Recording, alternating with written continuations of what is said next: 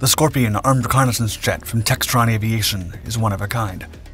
No other tactical aircraft like it is currently in existence. The manufacturer took it upon itself to develop a unique aircraft to meet a specific need in the market no other aircraft could fulfill.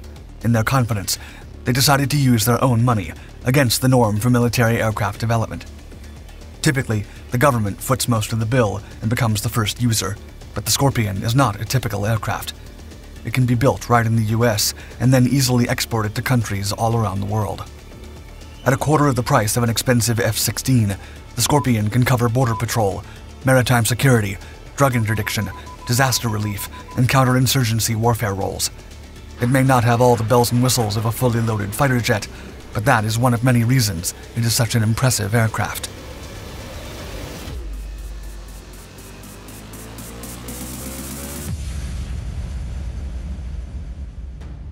Project. Airland Enterprises LLC had a vision for a new kind of aircraft the clandestine group of investors sought to create what they believed to be the world's most affordable tactical jet aircraft. In October 2011, they made their move, approaching Textron for a joint venture to bring the concept to life. In just six months, the covert development of the Scorpion commenced under the guise of the top secret project SCV 12 1, or simply the project. A hand picked team of designers and engineers from Textron, Cessna, and Bell Helicopter were sworn to secrecy and assembled in a discreet location, working tirelessly on the project. Often, they would have to make critical decisions in hours rather than days, all to comply with a single ideal speed is paramount. The objective was to create, fly, and sell the aircraft as fast as possible, so as not to miss opportunities. In parallel, all precautions were taken to avoid arousing suspicion from potential competitors, with non disclosure agreements, local suppliers, and the tight knit community of Wichita, Kansas, all playing their part in maintaining the project's mystery. Besides, technology from Cessna inventory and other existing and readily available components and hardware were borrowed to facilitate the development. Despite the rush, and even if they could build the aircraft quickly, there was one hurdle left to overcome finding the right customer outside the lines. With military budgets shrinking and aircraft costs skyrocketing, Textron saw a gap in the market.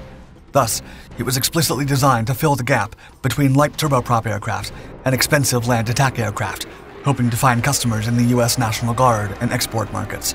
In a traditional aircraft development program, the Department of Defense or military service would issue detailed requirements. Instead, Textron Airland conducted a thorough market and capability analysis to determine the exact needs of both domestic and foreign forces currently unable to be fulfilled. Years of development and flight testing were expected. Still, the team was determined to deliver the Scorpion as quickly as possible. Instead of an expected four to five years, its development to flight time was nothing short of miraculous, achieving its first flight within a mere 24 months. In truth, in an unconventional, not to say risky move, the outside contours were built in May 2012, while wing production started in August, meaning the wind tunnel tests were conducted after wing parts were already in the pipeline. And so, after much anticipation, the first prototype built by Cessna was finally unveiled to the world on September 16, 2013, and was almost ready for its inaugural flight. Keeping it low, the Scorpion was designed to be a lightweight, all composite aircraft for light attack, as well as intelligence, surveillance, and reconnaissance missions. And it was to be an affordable option for small foreign militaries who could not purchase high end planes. Initially, the concept was for a single engine aircraft, but after reviewing 12 different design configurations, the engineers decided on a tandem seat twin engine configuration. Despite being a two seater, it could be flown by just one pilot it had a retractable nose mount for electro-optical and infrared sensors, reducing drag when not used. One of the significant advantages of the Scorpion is its low cost. The developers claim that the flight hour cost is only $3,000, which is significantly less than any Western purpose-designed turbojet attack aircraft. The Scorpion is also cheaper to buy and operate than most other ground attack aircraft, with each unit costing less than $20 million. This cost is lower than the cost of upgrading an A-10 or F-16.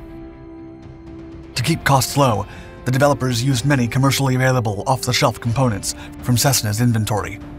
The demonstrator is powered by Honeywell TFE 731 turbofans, widely used in commercial business jets. These engines are significantly cheaper than purpose designed military engines and easier to service. Textron Airland sees a market for up to 2,000 Scorpion jets. Testing The Scorpion went through pre flight taxi trials in late November 2013 in preparation for its first flight. And finally, on December 12th, it took to the skies for the first time, flying for 1.4 hours. The flight happened 23 months after the Scorpion's conception, and its flight certification program would last for two years. Textron Airland, the company behind the Scorpion, aimed to complete 500 flight hours and, more ambitiously, verify basic performance features by the end of 2014. The initial flight tests were promising, showing positive results in evaluations of performance. Similarly, mechanical and electronic systems proved efficient. By April 9, 2014, Textron Airland announced that the Scorpion had flown for 50 hours over 26 flights. The aircraft had flown as high as 30,000 feet at speeds up to 490 miles per hour and experienced accelerations ranging from 3.7 to minus 0.5 g. In turn, the stall speed was identified as slower than 100 miles per hour. During test flights, pilots reported that the Scorpion was agile, nimble, and powerful, even when flown on one engine. Moreover, its low speed characteristics proved more than decent. It even demonstrated an intercept of a Cessna 182. Yet, incremental modifications were made over the course of testing. Overall, remarkably few issues were encountered, which was attributed to the use of mature, non developmental systems. A strike aircraft. On June 1, 2014, a modified Scorpion aircraft resumed flights. The Scorpion then made its debut at the Farnborough Air Show in July of that same year. It had simplified landing gear, increased wing sweep, and new avionics, including hands on throttle and stick controls. The aircraft also had a modular design that allowed the wings to be removed and replaced with different designs. It is worth mentioning that the manufacturer considers it an ISR and strike aircraft instead of a light attack aircraft. As such, the aircraft is designed to handle non traditional ISR flights, similar to those performed by U.S. fighters in Iraq and Afghanistan. It can perform armed reconnaissance while cruising above 15,000 feet, higher than most ground fire can reach. Additionally, the aircraft is rugged enough to sustain minimal damage. Textron Airland claims that the aircraft's endurance is optimized for five hours of loitering up to 150 miles away from its base. The Scorpion aircraft is versatile and can be used for light attack, reconnaissance, domestic interdiction, air patrol, and training. However, it is limited to low threat battlefield missions. Still, with an internal weapons bay that can be reconfigured for different mission requirements, the Scorpion can carry sensors or extra fuel. It can also carry precision guided munitions with laser or GPS guidance. Its internal payload capacity is 3,000 pounds, and it can also bear an additional 3,000 pounds of ordnance externally on six external hardpoints for various weapons, such as gun pods, missiles, rockets, and bombs. By the end of the summer, the Scorpion would be ready for its ultimate trial. The Outlook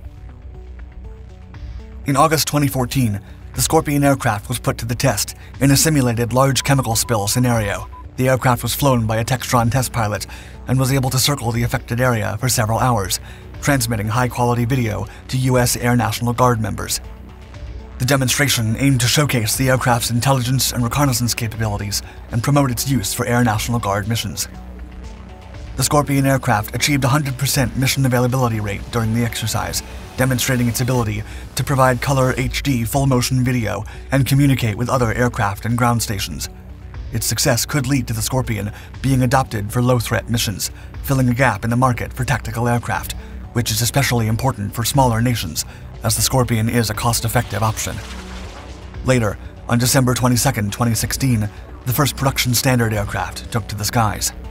The company behind the Scorpion reported positive interest from military and paramilitary organizations, with discussions already underway with countries such as Malaysia, Brunei, the Philippines, Indonesia, Bahrain, Qatar, and Saudi Arabia.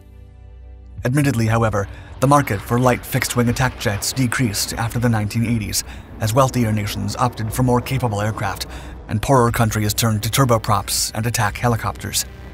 It remains uncertain if the Scorpion can outperform these alternatives in terms of range, endurance, low altitude performance, and sensors.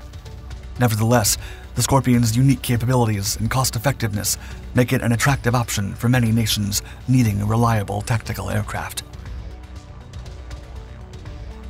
Thank you for tuning in to our video. If you crave more gripping and enthralling content, look no further than our Dark Documentaries channels. To stay up to date on our latest releases, hit the subscribe button for Dark Skies and hit the like button. Hit the notifications bell to be the first to know when we drop new content.